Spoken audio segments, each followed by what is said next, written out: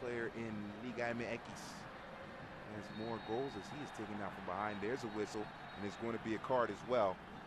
And Hugo Ayala is going to pick it up in second half stoppage time. The only player with more goals in Liga MX play so far has been the Colombian Dorlan Pabón. He has five for five goals for Tigres' arch rival there. Clásico Regiomontano rivals, Monterrey, the Rayados. Coming up next for Tigres in terms of league play, they will be hosting Morelia, Monarcas in this stadium. Then travel to Puebla. And then host Chivas